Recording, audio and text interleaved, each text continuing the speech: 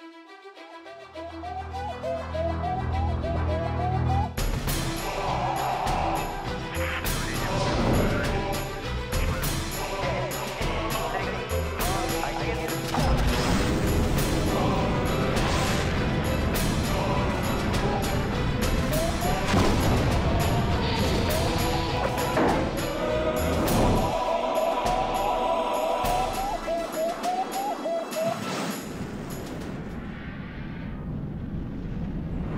Welcome to Sputnik, orbiting the world with me, George Galloway. And me, Gayatri.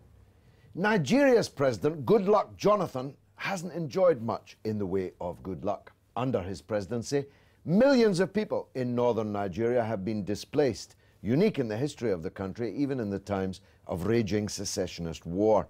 The spectre of breakup haunts this African giant, the largest and richest country in the continent.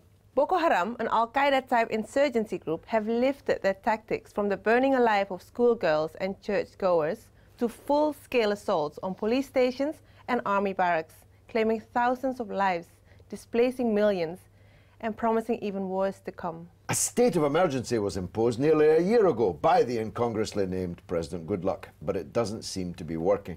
The threat grows ever larger and more violent. On top of all that, Nigeria is bracing for a food crisis. The very mixture, therefore, which 30 years ago made Ethiopia a byword for a state of collapse.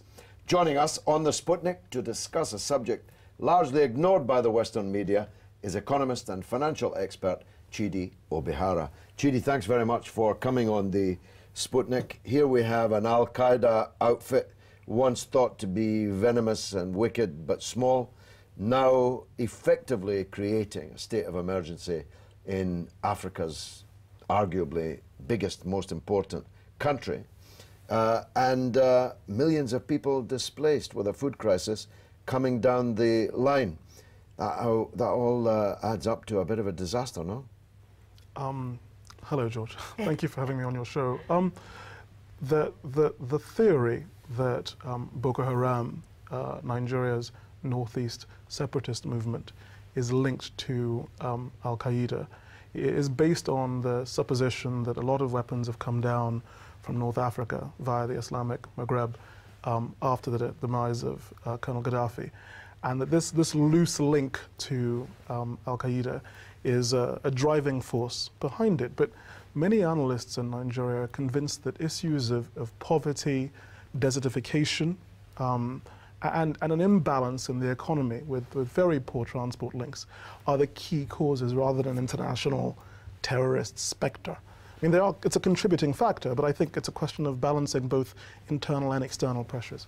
Because one hadn't hitherto imagined that Nigerian Muslims were particularly inclined to extremism of any kind. Are you really saying that this can be economically fixed? There's always been an appropriate stereotype that Nigerians will never kill themselves for anything. They're far more interested in making money, one way or other, than um, sort of sacrificing themselves for a broader ideological goal. It isn't part of the fabric of our society. I think that's one of the reasons why many Nigerians talk about the outside influences of the Islamic Maghreb rather than the sort of in interior uh, domestic uh, political drivers. But you make an extremely valid point about why it's important to develop the economic base and alleviate poverty of the country, both in the north and the south, as the most powerful tool against political opportunists, basically, who create movements like Al Qaeda. Nigeria should be, of course, uh, extremely rich. Everyone should be living comfortably in Nigeria. If it weren't, weren't for poor governance and corruption and uh, previous uh, problems, uh, there would be none of this. But of course, there are secessionist tendencies latent within the state. I'm old enough to remember one in particular in Biafra, uh, which uh, raged uh, for years and which produced images of horror uh, that hadn't actually been seen since the end of the Second World War. You're confident that Nigeria can remain a single state, are you?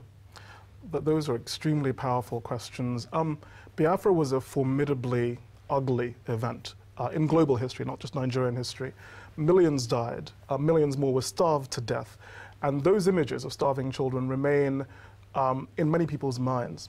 Now, I think, ironically, one of the reasons why Nigeria probably will survive all this is that Nigerians do not want to go through that kind of process again. Again.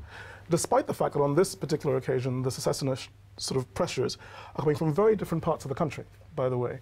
But even this time around, we're all very, very clear that our strengths make us far more capable as a nation than our constituent parts alone.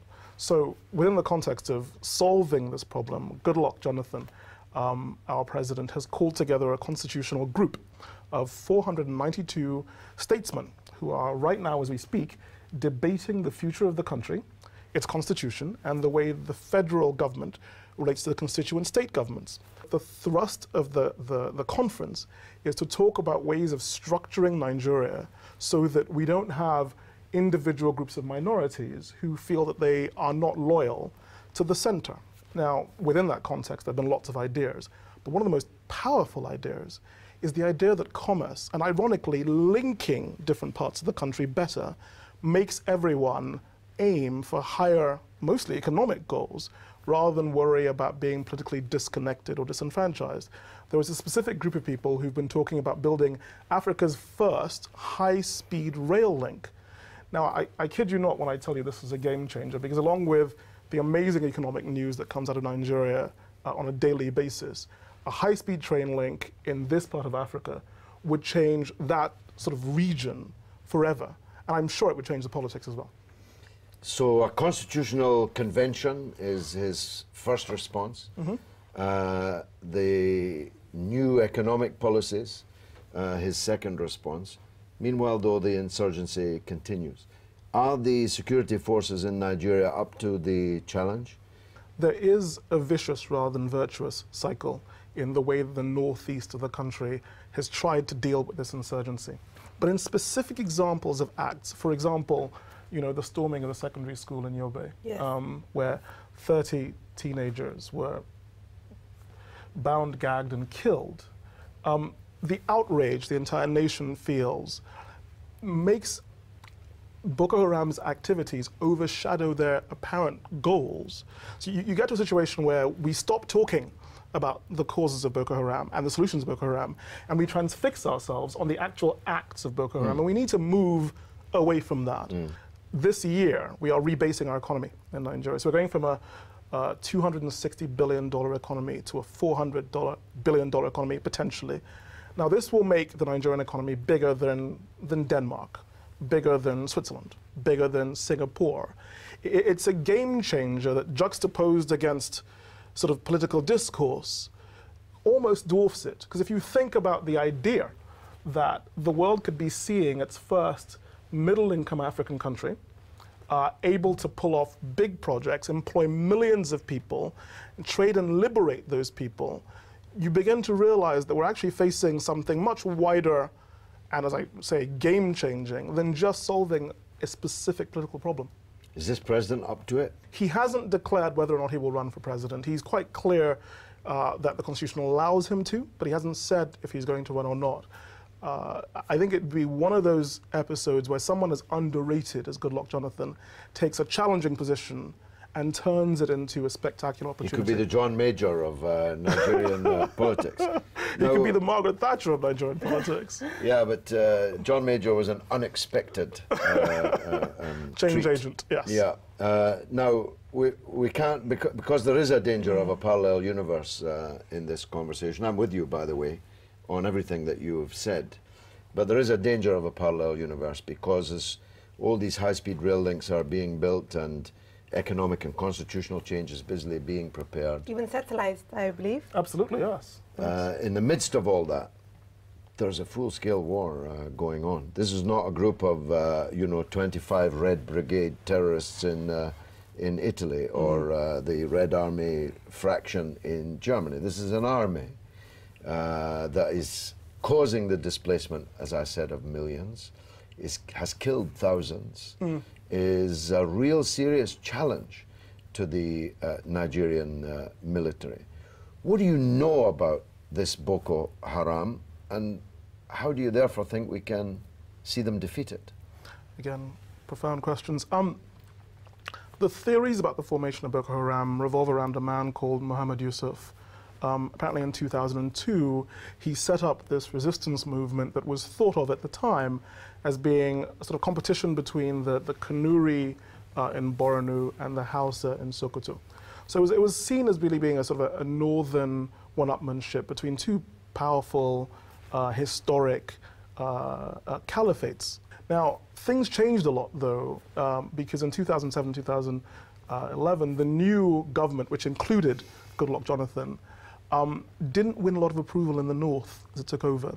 So there were some politicians in the north who said they were going to make Nigeria ungovernable. Mm. Boko Haram is about um, a local group in the northeast of Nigeria who have an agenda that's focused around bettering the northeast of Nigeria because they, they complain about poverty, rightly. They complain about corruption. And, and what's, what's come out of that entire process is this confusion, as I said earlier on, between the tactics and the acts of Boko Haram and the cause. If we encourage agriculture in this part of the country, which has been a staple for thousands of years, if we link it so that cultural produce can be exported from the coast, if we educate the population in a way that doesn't allow them to make statements like Boko Haram, you know, books are sinful.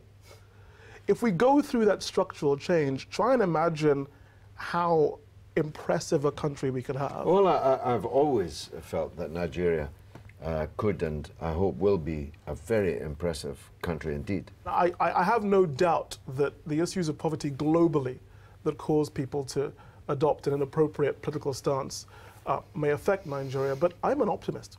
Absolutely an optimist. I could tell. Thank you very much indeed. It's Thank been you. great really to, nice to, have you, you on the Sputnik. Coming up after the break is another optimist, the one and only, believe me, Max Keiser. Don't miss it.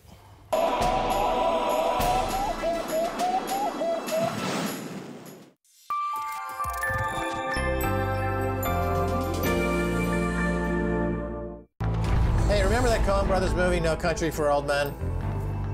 How about No Country for Young Men? What's the most you ever lost on a coin toss? What's the most you ever lost on a coin toss? You've been putting it up your whole life. You just didn't know it. Call it. Yeah, baby. Call it. You stand to win everything. Call it. A top Treasury official warns that Britain is teetering on the edge of dangerous housing bubble, and prices in London are rising so fast that Prince Charles says there isn't sustainability and risks driving away talented young individuals. In other words, this is no country for young people. Diplomacy led to breakthroughs in Syria and Iran, but it also strained relations between the US and Saudi Arabia. What does the future hold for Washington Riyadh ties?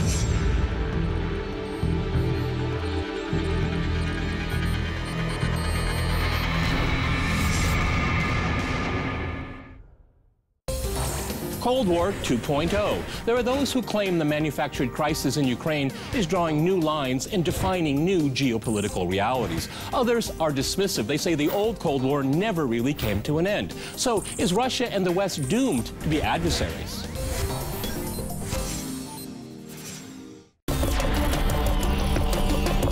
Right from the scene. First rate news and eye gripping pictures.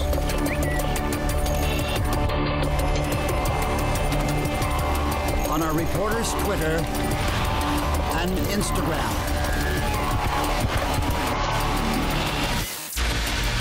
To be in the know, follow us online.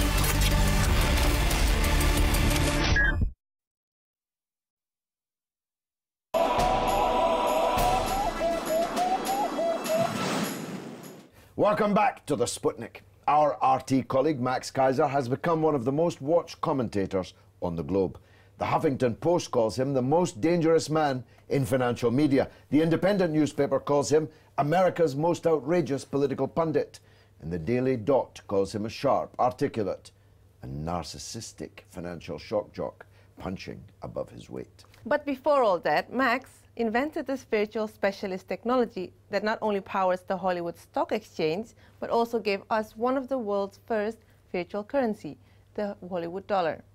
Now he's in the UK, not only hosting the Keiser Report, but also launching several new companies, including the crowdfunding site Start Join. Max's effervescence is not just the result of his unique personality, but an expression of the fact that he's almost literally bursting with ideas about the way things are and about the way things could be.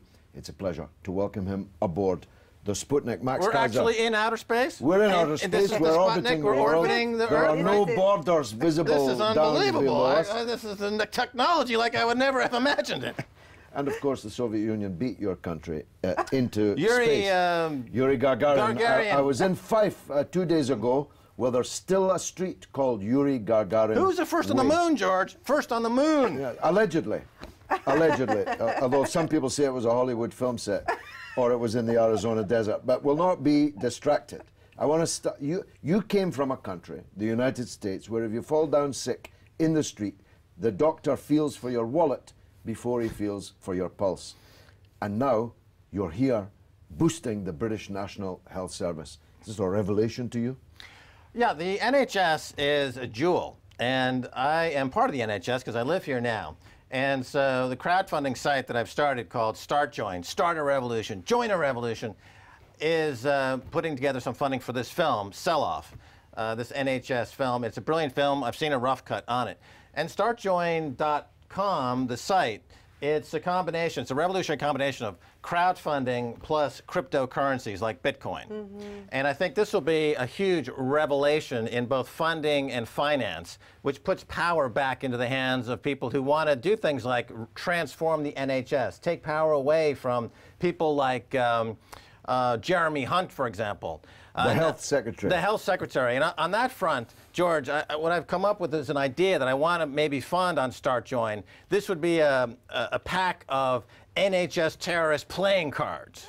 Now, you remember back during yes. the Iraq War. Saddam Hussein and Tariq Aziz and the rest. Yes, so this is the prototype. So, in other words, Jeremy Hunt, who's probably the number one Public NH enemy number one in terms N- of the National Health Service. NHS yeah. terrorist, Yeah. number one. he would be the ace of spades. Yeah. And then, of course, you have uh, McKinsey, uh, the, the consulting group, KPMG, Ernst & Young, PricewaterhouseCoopers. They're all these American consultants who have Yes. flown into this country to basically Like engage... vultures. They're, they're, They're they want to feast on what they hope will be a corpse of what was the greatest thing that Britain ever achieved. Right, there's 100 billion pounds in the NHS worth of assets, and they're engaging in what I would call pinata economics, where they're given a big fat stick, and they go to this uh, NHS, which is a treasure trove of assets, and their stick is given to them by this coalition government, and they beat the hell out of it looking for the candy. The candy is falling out. These things are being given to them free from the government. They borrow money free from the government at 0% interest rate. They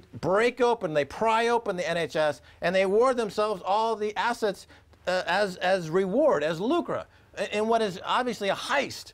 So this film, which is Sell Off, is trying to get the people in the UK to understand that this is it. This is the, land, uh, the line in the sand. You can't have our NHS. It's a brilliant uh, institution. And they need crowdfunding, and they get that through your Start Join site, startjoin.com. That's great. The, uh, the, the crowdfunding business is becoming itself big business. You and I uh, have worked together on this uh, Tony Blair documentary, which is uh, gathering pace, I may tell you. We're also uh, working on a movie together about somebody the British public so far knows little about, but he's very, very important to the story of the last 20 years. Kenny Lay. Where's Kenny Boy? Tell us about it. Well, Tony Blair, remember, it wasn't blood for oil. Turned out it was blood for oil. And Ken Lay is kind of the American connection to this massive uh, oil-empowered oligarchy that is plundering the world. Ken Lay, of course, former head of Enron. And Enron is really a seminal case of financial terror- terrorism or financialization using corporate assets to create financial futures contracts, which dominate the energy industry, and this the tail wagging the dog. So you don't have genuine price discovery where the price of oil reflects true supply and demand, but it's the paper contracts that are driving the price, and the paper is driven by insiders who are manipulating the price to fund things like political campaigns for George Bush and others. So this is a story that we're going to go pursue. It's called Where's Kenny Boy? We're going to go to Paraguay. We're going to find Kenny Boy, which we think he might be still We think alive he's still alive. living in Paraguay because that whole funeral situation seemed to be a big fake. Talk about the fake moon landing. This is could be the fake Kenny Boy death. Uh, Well, let, let, let's, for the benefit of British viewers, just uh, recap it quickly. This is a man who funded the George Bush neocon campaign. George Bush flew on an Enron jet into Florida for the controversial crisis, the recount over the Florida result when he was first elected. He was then, not Bush, but Lay, convicted of a vast fraud uh, but just before he could be sentenced and therefore his assets seized, he went off to Colorado and had a very convenient heart attack, which meant his family could keep his wealth. And uh, he was quickly cremated before anyone from the federal government actually got a good look inside the coffin. And uh, as the smoke went up at the funeral, there was George Bush, George Bush Sr., even Bill Clinton, Hillary Clinton, Donald Rumsfeld. They were all at the funeral of a convicted fraudster. And you and I think he may not have actually been in that box. He may be where? Paraguay. So the concept for Where's Kenny Boy, this film that we're crowdfunding on StartJoin, is to have you, myself, and others go down to Paraguay and look for Kenny, Kenny Ken Lay, which we think he's hiding out in, in this uh, Paraguay, in this in this uh, ranch, this estate somewhere. And of course, on our way there, we'll be going through Texas. So we'll meet up probably with Alex Jones, who's a friend of our show. And he's working on a show, a movie called, uh, with him right now called Bailout 2, which is the sequel to Bailout, which is a film about the financial crisis. Uh, so we're trying to bring in the global crowdfunding community and the global crypto community, the Bitcoin community, the Maxcoin community. So community. people can donate with Bitcoin. Yeah, they can use Bitcoin. See, the thing about cryptocurrency, and when you combine it with crowdfunding to create this revolution, is that what's great about cryptocurrency is that people can mine their own currency. So in Iceland, when they went through a, a, a tragic financial crisis, they've now mined their own Aurora coin. Then they're distributing it to the people. And the people now have their new currency that's outside of the corrupt banking system. We see the same thing possibly in Scotland. We see the same thing happening in Spain. We see the same thing happening for the Lakota Nation in North America, who's been victimized by 300 years of broken treaties from the American government. They're now mining, crypto mining their own currency, the Maza coin, which is immune from any government over uh, interference. So this is true independence, true financial independence, uh, which of course is the key toward true sovereignty. I told you he was bursting with ideas. The public, when they knew you were coming on Sputnik this week, are bursting Oh, with uh, questions. Well, CLF asks, how can the financial hegemony on politics be broken or at least contained?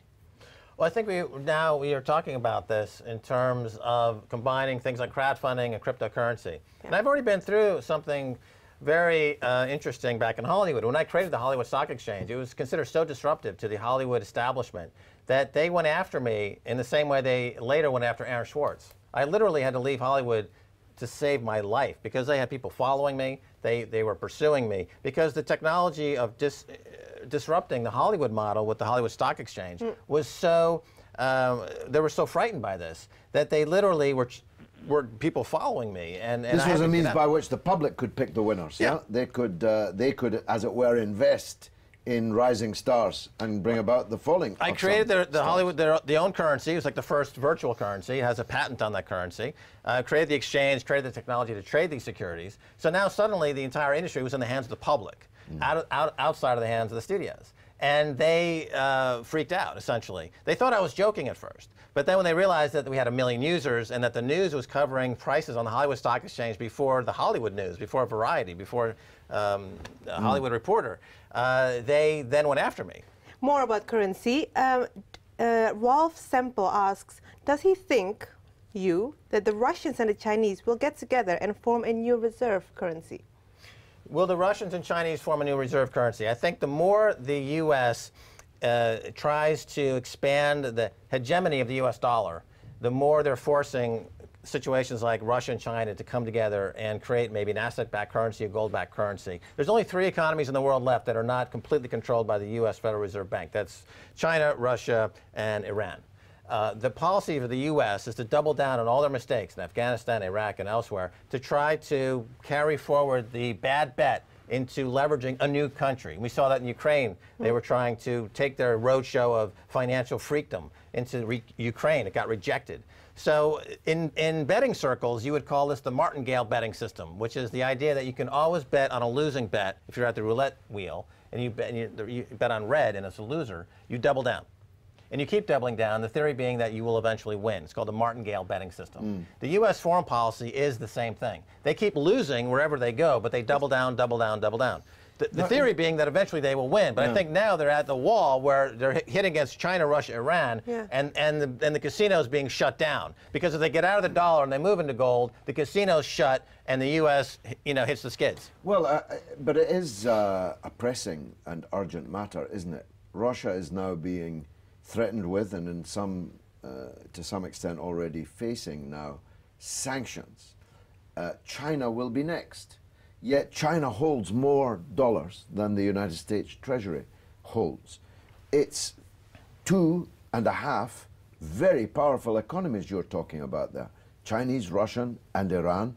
They could have their own hmm. currency, no? Hmm. Well, actually, there's a very specific question about that from Robert saying, Will China act to kill the dollar or live with being encircled by the US expanding deficit funded Oh, that's a good point. I mean, the, the, the threat to China is very real and present. Yeah. Why Well, what doesn't they- China yeah, they, take ho- this they, opportunity? yeah, they hold their They, they have been taking this opportunity. Over the last five years, both China and Russia have been buying record amounts of gold. So as the paper world of the America's a paper empire Hmm. built on fiat currency. And if you don't buy their bonds, they bomb you.